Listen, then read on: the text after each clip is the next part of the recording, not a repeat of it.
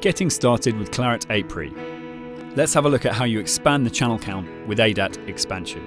In this instance, we're using a Focusrite OctoPre Mark II Dynamic. We're also using an ADAT cable, available in all good music stores. Connect the optical out of the OctoPre Mark II to the optical in of the Clarett 8 Pre. Then connect your microphones. Now that we've connected the units and connected our microphones, we need to set the clock source in Focusrite Control. So with Focusrite Control open, you can set the sample rate here. And in the clock source menu, set this to ADAT.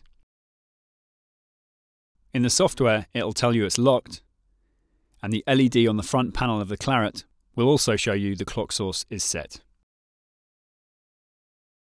Inputs 1 to 8 on the OctoPre Mark II Dynamic will appear in your DAW, as you can see here in Logic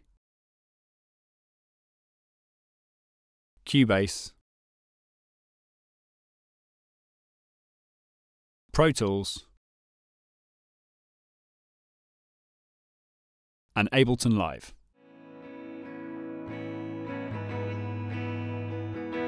Now click here to watch video 6, Focusrite Control.